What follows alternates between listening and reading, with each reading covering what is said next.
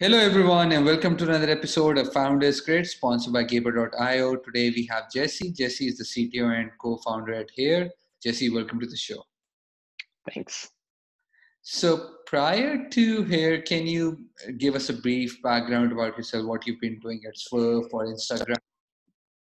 Sure. Yeah. Um, so I'm I'm I'm pretty old by uh, by tech startup standards, I guess. I've been um, I've been uh, around the uh, uh, New York, in particular, startup scene for about 20 years, um, working mostly in mobile. Uh, I uh, led the mobile engineering team at Gilt Group, um, built um, a prior startup called Dasher that was acquired by by ZX Ventures. And then I guess the last few years I've spent, you know, working at Instagram, helping start up their shopping product.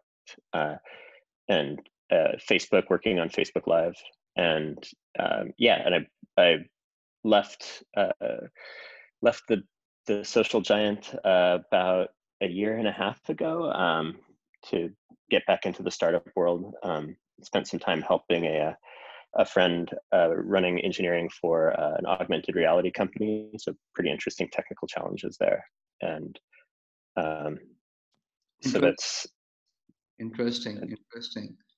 So, uh, what pushed you? What was the initial plan, or what was the thing for starting up with here, and especially in the middle of pandemic? Yeah. well, so I was not sure, uh, you know, what, what what I wanted to do next, honestly, and I um, I interviewed at a few jobs, uh, you know, over the phone, over Zoom, and I, um, uh, you know, this was like right around uh, lockdown where travel wasn't possible, um, and everybody was sort of trying to get an early sense on what remote work was. You know, I uh, like a few people were very familiar with it, but the whole world was suddenly plunged into it, and um, the thing that I realized when I was interviewing was the thing that matters to me the most about work is the people that you work with. And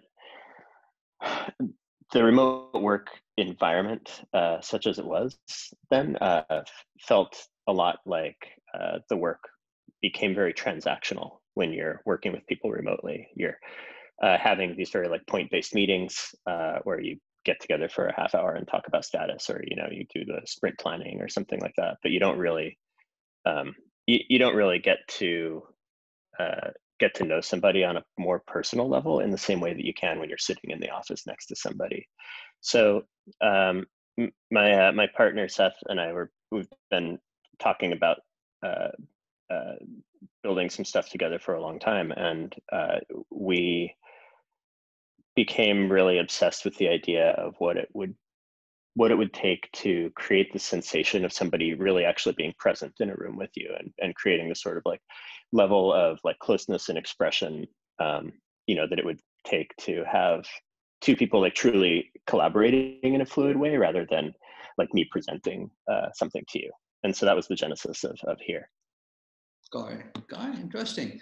So as a startup founder, you're supposed to wear multiple hats from the CTO to the sales to the product market fit to the early customer mm-hmm. discovery, then building a startup out of New York, you know, in middle yeah. of pandemic with the, the, spaces being clustered and stuff.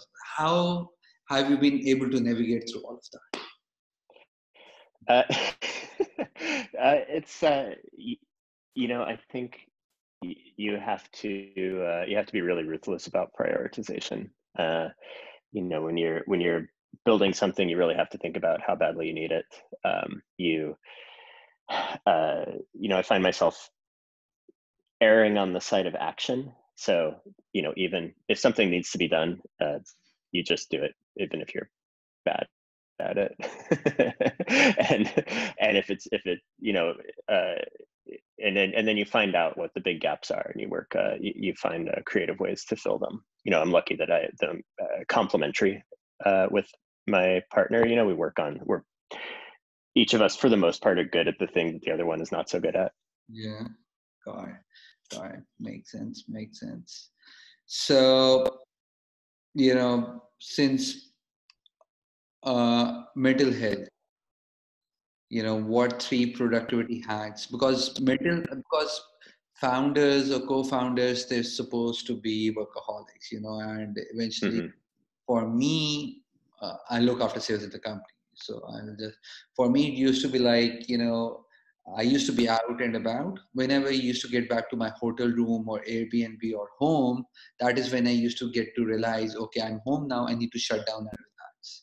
But mm-hmm. now it's work from home. So it's I'm unable to shut down, and I started feeling the burn around July, and I started feeling the burn being reflected to the teams in July.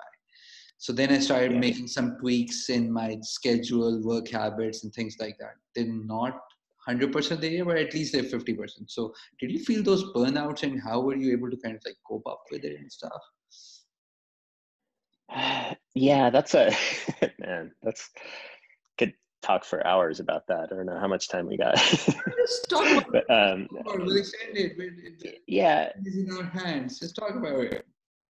No, really. Um, it's it's a real problem, and I think um, you know the way that I've been coping with it this time, and I have I have two children at home too, so it's very um, it's you know it's it's kind of hard to focus on anything for more than 10 minutes uh, while they're doing homeschool and you know all uh, taking care of them and all of that as well. So i tend to wake up very early uh, as early as i can. And i always uh, you know start off with uh, like meditating for a while you know not it doesn't have to be long you know 15 minutes fine. And like just you know it's sort of uh, like a grounding exercise just realizing you know that like the, the I, guess like like gratitude you know being great uh, like grateful for all of the opportunity that you have and it really um like uh, like starting the day where you put your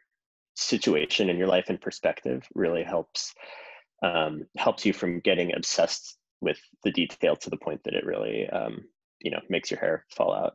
Yeah. Does that make sense yeah it makes it is it is it is to an extent. Yeah i get you. I, I hear you where you're coming from. So uh, i believe you went through yc right? Yes in the summer. You were the first cohort that went online?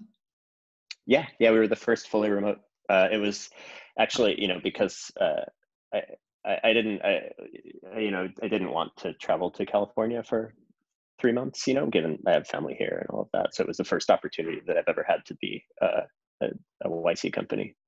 Yeah. And how's the experience of going uh, through an accelerator more do you think you've created those meaningful uh, things or relationships that YC is so much famous for? Um you know what? Like I don't have an, an alternative to compare it to because it was my only YC experience. But uh, I, you know, I actually did get to know uh, uh, some really some really great people uh, during the batch, and we, you know, we stay in touch. We're probably friends forever, and um, you know, we we had a group of uh, I think about like you know, it's like subdivided and then subdivided again. YC is a very big organization now. So, um, you know, we had probably, you know, 16 to 20 people who are like in one sort of like sub sub cohort and we would get together every other week you know or every yeah every week or two uh, during the yc batch and um, you know talk very openly about problems. You know it's not a place where you uh, have to pretend like everything is going great all the time.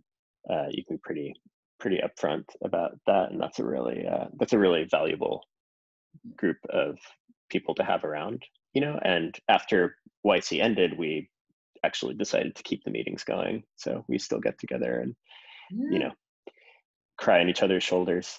Yeah. It's very helpful. That's important. That's really important. Jesse, thank you so much for being on the podcast. We have we'll have to cut it at 12 minutes, but we'll let's stick around after the podcast and few discussion. But thank you so much for being on. Yeah, sure. Thank you for having me. It's fun.